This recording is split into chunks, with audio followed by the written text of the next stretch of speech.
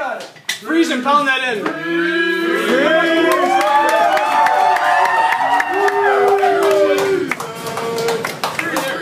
Big saves tonight. Freeze, way to go, bud. That boy, freeze.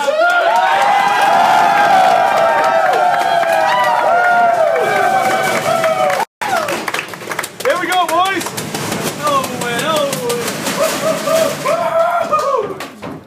Wow, how about guts, the guts of this hockey team, huh?